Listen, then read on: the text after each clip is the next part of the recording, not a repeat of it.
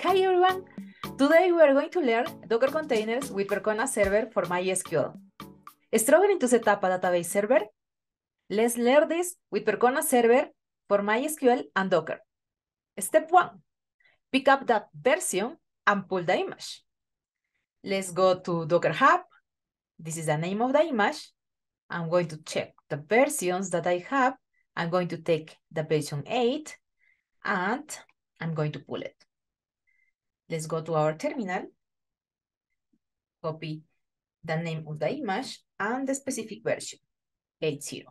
Looks like I already have it. We are going to check with images and it's here. That's good. Step two, run the container.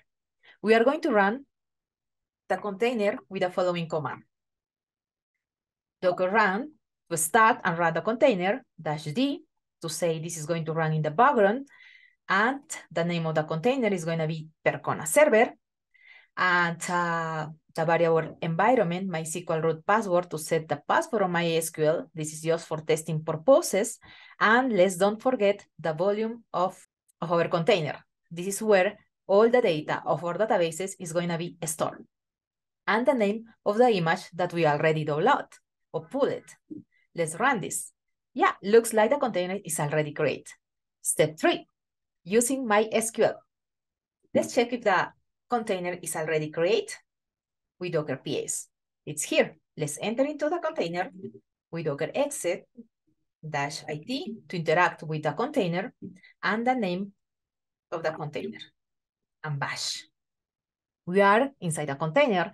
Now we are going to start Percona MySQL server. MySQL, uh, oops, oops, MySQL dash user root and the password is going to be also root. We are inside MySQL now and we are going to check all our databases. Now it's time for you to create your databases, create tables, insert data with Percona server for MySQL. If you have questions, please leave them in the comments below. Thank you for watching. Bye.